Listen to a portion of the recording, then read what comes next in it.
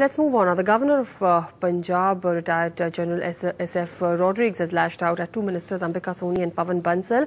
He says they are trying to frame him for corruption. The Central Village, uh, Vigilance uh, Commission has ordered a CBI investigation into irregularities in two projects in Chandigarh. Rodrigues says his name has been taken only to settle old scores.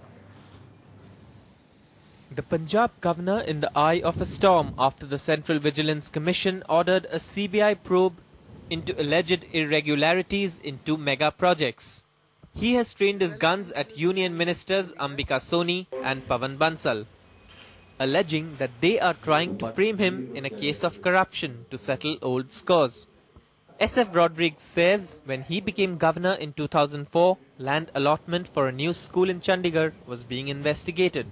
On the board of that proposed school was Pawan Bansal, then a sitting MP, and Ambika Soni.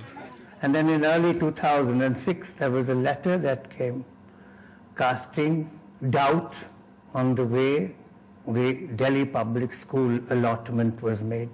Now, when this came up, I was worried because I said this is going to be a huge embarrassment because Pawan Bansal and Ambika Soni were both vice chairpersons. Mr. Soni was the chairperson and the family or the children were directors. And when I sent for the file, I realized that there was no way I could justify the allotment. And I told him, I'm sorry, the rules have been violated across the board. So he ordered the resumption of that land. That, Rodrigues alleges, became a point of bitter rivalry between him and Bansal.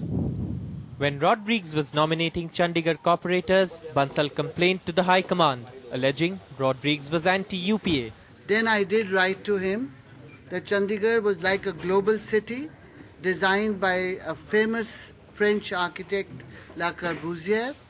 And before we do anything to change his plans, we should have a discussion and a debate involving the citizens of Chandigarh. He didn't seem to agree with me, but lots of people did. Recently, Bansal alleged that the Chandigarh administration under Rodrigues had leased out 100 acres of land arbitrarily to two builders below market rates. मेरे से खिलवाड़ कर रहे हैं playing with my reputation this way Sources say for both sides the timing is crucial as the governor's term ends in November and he might be hoping for a second term. With Vikram Chaudhary in Chandigarh, Saurabh Gupta for NDTV. Tuba.com